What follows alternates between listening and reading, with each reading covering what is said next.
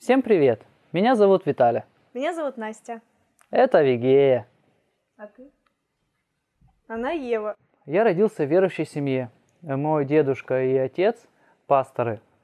Э, С детства они вкладывали в меня библейские истины. Поэтому, естественно, для меня было важно сохранить э, чистоту отношений с моей невестой до брака. Сейчас стало модно венчаться, но на самом деле э, далеко не все понимают, что это все очень серьезно, что мы сохраняем чистоту до брака, э, что мы храним себя перед Господом, и Господь все это видит. И когда мы, э, когда священник нас венчает, то это происходит перед небом, перед Богом. И это значит, что мы будем перед церковью, да, и это значит, что мы будем стараться сохранить всеми силами наш брак, и мы делаем это пред Господом. И когда мы в чистоте, то я знаю, что Бог поможет нам, когда у нас будут какие-то проблемы или неприятности, или непонимания, как бывает в любой семейной жизни.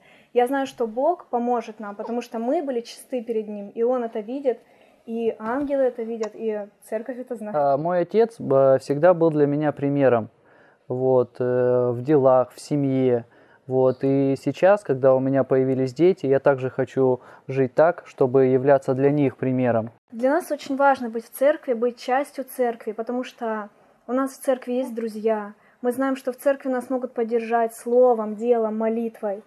А, Например, когда я была беременна нашим первым ребенком Евой, а, то мне говорил генетик, что очень велика вероятность того, что ребенок родится с синдромом Дауна. Были разные анализы, которые говорили об этом, и она а, предлагала мне сделать аборт, и очень настаивала на этом. Она говорила, что ну, тебе всего 18 лет, зачем тебе ребенок Даун?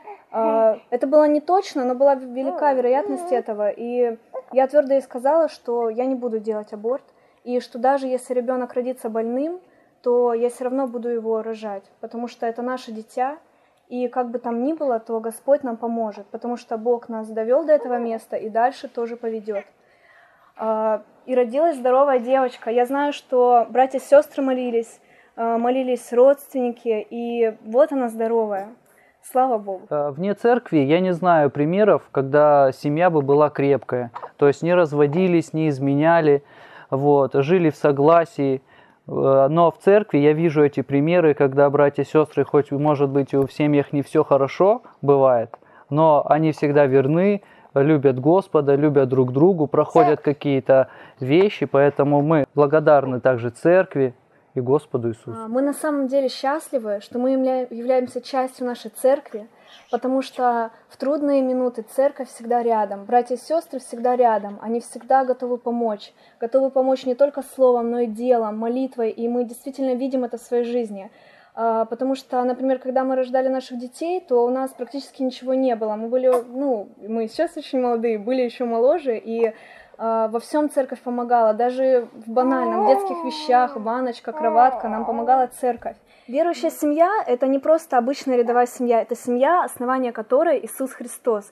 Это значит, что, например, вот когда в семье рождается ребенок, то говорят, что он царь, или что а, от него зависит вся жизнь остальных э, членов семьи, но это не так. А, В верующей семье основание и главенствующий Бог, Иисус Христос. Христу подчиняется муж, муж – глава жене, и потом уже дети. Это значит, что Иисус Христос – глава семьи.